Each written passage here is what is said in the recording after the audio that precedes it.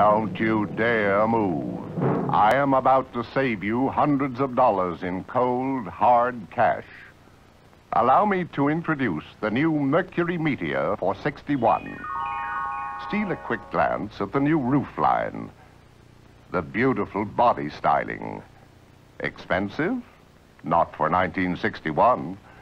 The new Mercury Meteor 600 and 800 series are priced, priced to compete with the low price field. Operating costs?